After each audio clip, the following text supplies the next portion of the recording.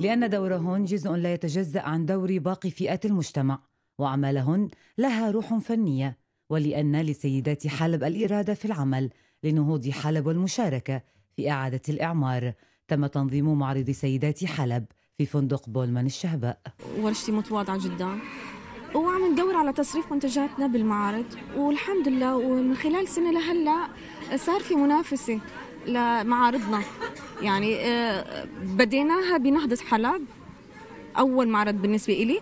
وما شاء الله صار في منافسة. فهالمنافسة هاي لصالح البلد الحمد لله. في النهاية عم نقصد إنه تحريك البلد وزياده رفع القوة الشرائية ورفع الاقتصاد بنقول بشكل متواضع. بيت أشارك في هالمعرض لأنه معرض سيدات بيعبر عن بلدنا بعبر قديش نحن المرأة السورية قدرت إنه هي تضل دائما بقوتها وتقدر دايما تكون موجودة بهيك مجالات خاصة بالعمل تثبت حالها. نحن مشتركين بمعرض بالبولمان آه الهدف من هالشيء إنه كل شيء العمل المرأة اللي حابة إنه تظهروا ما عندهم محلات ما عم يحسنوا يظهرون فإنه عم إنه عم نعرضهم آه وكله شغل أشياء عم نعملها شغل handmade عم نعرضها كمان.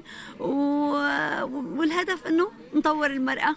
المشاركة هي طبعا يعني مشان الفائدة. أولا تعرف أنت بهذه الظروف صار طلعاتنا مشاورنا قليلة فعم نكسب الوقت بأشياء مفيدة. بالنسبة للمعارض اللي عم بتصير طبعا هي مثل ما بيقولوا نتيجة عمل المرأة أو اجتهادها. عم بتحاول إنه تعمل بصمة ولو بسيطة ممكن نغير نحن باقتصاد البلد. بالنسبة للمرأة السورية أنا بعتبر عنا المرأة السورية جبارة خاصة بسبب ظروف الحرب. قدرت يعني تصنع من لا شيء شيء. هي أول مشاركة لي في المعرض. آه، الإقبال عليه كتير حلو آه، يعني تجربة كتير جديدة وحلوة. ويعني معروفين نحن الستات الحلبيات يعني بمشاركاتنا وشغلنا. تم خلال المعرض تقديم نحو 40 ستاند بأعمال متنوعة تتضمن الأشغال اليدوية والحلويات إضافة للرسم على الزجاج وغير ذلك من الملابس والقطنيات وبأسعار تناسب المستهلك. أسعار منيحة وكتير متنوع المعرض.